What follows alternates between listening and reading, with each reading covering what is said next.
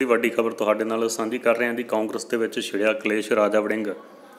ਦੇ ਖਿਲਾਫ ਹੋਇਆ ਵੱਡਾ ਲੀਡਰ ਹਾਈ ਕਮਾਨ ਤੱਕ ਪਹੁੰਚੀ ਗੱਲ, ਸੋ ਜਾਣਨ ਦੇ ਲਈ ਵੀਡੀਓ ਨੂੰ ਅੰਤ ਤੱਕ ਦੇਖ ਲਿਓ ਤੁਹਾਨੂੰ ਪੂਰੀ ਖਬਰ ਦਾ।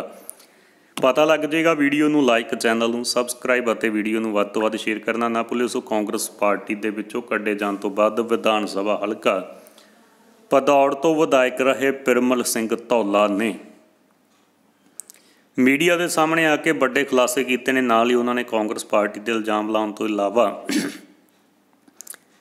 ਰਾਜਾ ਵੜਿੰਗ ਦੇ ਫੈਸਲੇ ਨੂੰ ਪਾਰਟੀ ਦੇ ਸੰਵਿਧਾਨ ਦੇ ਖਿਲਾਫ ਦੱਸਿਆ। ਇਸ ਦੇ ਨਾਲ ਉਹਨਾਂ ਨੇ ਦਾਅਵਾ ਕੀਤਾ ਕਿ ਪਾਰਟੀ ਵਿੱਚੋਂ ਕੱਢਣ ਦੇ ਲਈ ਉਹਨਾਂ ਨੂੰ ਕੋਈ ਵੀ ਨੋਟਿਸ ਜਾਰੀ ਨਹੀਂ ਕੀਤਾ ਗਿਆ। ਇਹ ਜਾਣਕਾਰੀ ਸੋਸ਼ਲ ਮੀਡੀਆ ਤੋਂ ਪ੍ਰਾਪਤ ਹੋਈ। ਉਹਨਾਂ ਨੇ ਪੱਤਰਕਾਰਾਂ ਨਾਲ ਗੱਲਬਾਤ ਕਰਦਿਆਂ ਕਿਹਾ ਹੈ ਕਿ ਮੈਨੂੰ ਕਿਸੇ ਸੱਜਣ ਨੇ ਦੱਸਿਆ ਕਿ ਸੋਸ਼ਲ ਮੀਡੀਆ ਦੇ ਉੱਪਰ ਇਸ ਤਰ੍ਹਾਂ ਦਾ ਪੱਤਰ ਆਇਆ, ਨਿਊਜ਼ ਆਈ ਹੈ, ਮੈਨੂੰ ਲਿੰਕ ਭੇਜ ਦਿੱਤਾ, ਮੈਨੂੰ ਬਹੁਤ ਹੈਰਾਨੀ ਹੋਈ ਉਸ ਉੱਪਰ। ਤਰੀਕ ਅੱਜ ਤੋਂ 3 ਮਹੀਨੇ ਪਹਿਲਾਂ ਦੀ ਹੈ। ਇੱਕ ਗੱਲ ਇਹ ਹੈ ਕਿ ਦੂਸਰੀ ਗੱਲ ਕਿ ਪਾਰਟੀ ਦਾ ਵੀ ਸੰਵਿਧਾਨ ਹੈ।